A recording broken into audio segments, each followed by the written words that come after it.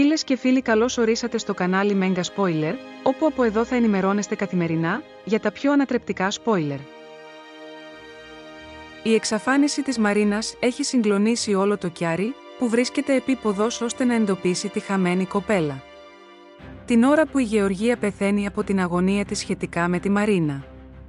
Η Ευγενία συνεχίζει να παρεξηγεί κάθε κίνηση του Μάρκου και η Νότα προσπαθεί να τη συνετίσει. Στο μεταξύ η Αλεξάνδρα ξεκινά να διδάσκει γραφή και ανάγνωση στις συγκρατούμενές της, αλλά οι ευνίδιοι πόνοι που αισθάνεται ανατρέπουν τα σχέδια της. Έτσι θα δούμε την Αλεξάνδρα να νοσηλεύεται με οξία δηλητηρίαση και σε κρίσιμη κατάσταση.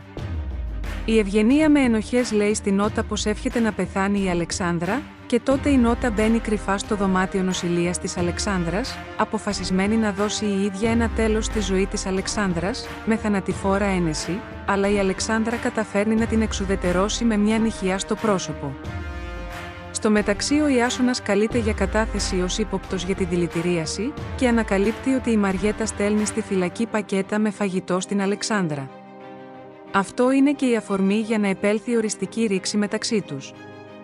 Και όσο η Αλεξάνδρα νοσηλεύεται με οξία δηλητηρίαση σε κρίσιμη κατάσταση, ο Μιχάλης αποδεικνύει ότι πίσω από την καταγγελία εναντίον της Νάντιας είναι η ελπίδα. Παράλληλα διαδίδεται πως ο Ιάσονας έβαλε να δηλητηριάσουν τη γυναίκα του, ωστόσο και άλλες κρατούμενες αρχίζουν να έχουν ανάλογα συμπτώματα. Και όσο το κλίμα μεταξύ Στέφανου και Μαριέτας αρχίζει κάπως να θερμαίνεται, ο Νικόλας εξομολογείται στην Άννα πως τη σκέφτεται. Στο μεταξύ ο στρατής με αφορμή τη θυματοποίηση που δέχεται η κόρη του η Μαρίνα, προτείνει στη Γεωργία να φύγουν μετανάστες στην Αμερική.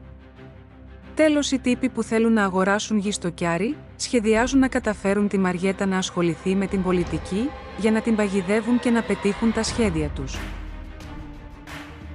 Εάν μας βλέπετε για πρώτη φορά, έχετε την δυνατότητα να κάνετε μια δωρεάν εγγραφή, να ενεργοποιήσετε και το καμπανάκι, για να λαμβάνετε ειδοποιήσεις για τα νέα βίντεό μας. Σύντομα κοντά σας!